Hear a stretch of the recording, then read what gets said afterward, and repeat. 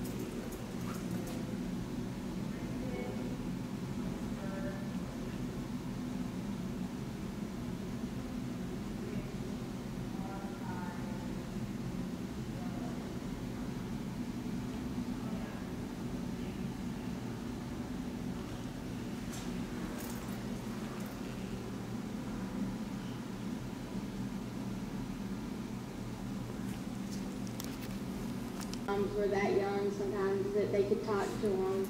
Like I talked to my mom. She's more like a best friend than my mom. I take ballet like twice a week, and I really like dancing, and that's something I hope to grow up to be a ballerina dancer. In a recital, um, I get really nervous about that time. It seems more like I'm more nervous in front of my mom than I would be in front of my dance teacher. I have no idea why. I guess it's because since she was so young when she had me, she pushes me in a lot of things to do things that she never got to do when she was young. Like she's always about not being able to go to a prom. She was always sad about that and stuff. But I think she was glad that she had me. Hope. Really bothers me how at school that everyone's just alike. Dress the same, they all act the same. And so everybody goes crazy if you wear something that is different. And people shouldn't be so shocked if somebody wants to be different from them. Mean, they're all different people. All just hiding it, trying to be like all the other people. The most beautiful thing in the world are stars.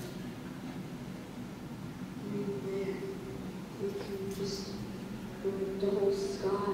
Like, the moon, of course, is beautiful. And sometime in my life I'd like to go there. And also, I can't stand to be made to go to sleep at night. Because night is just like